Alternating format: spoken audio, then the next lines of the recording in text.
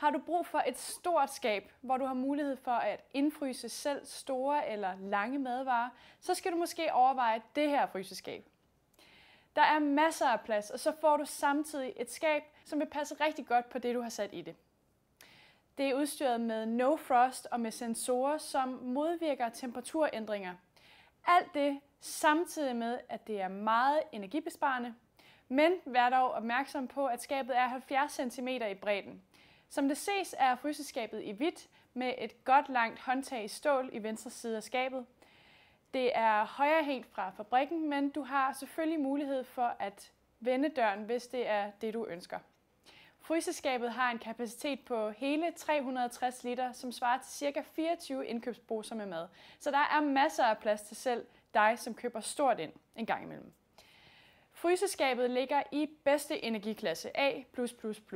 Det måler 191 cm i højden, 70 cm i bredden og 78 cm i dybden. Målene er lidt over standarden, så vær især opmærksom på bredden og dybden. Så husk for en sikkerheds skyld at tjekke efter, om skabet passer hjemme hos dig, der hvor du ønsker, at det skal stå.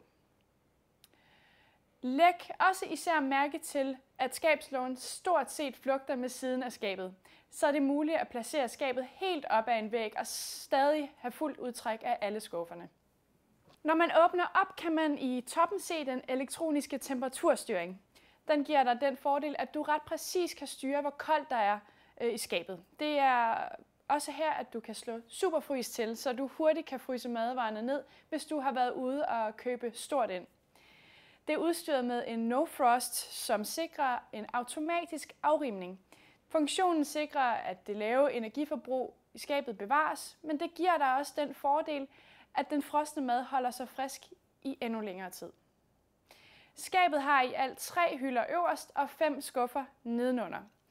Øverste skuffe er med en manuel isterningemaskine, og når den er fyldt op, går der ikke ret lang tid, før du har 20 isterninger klar.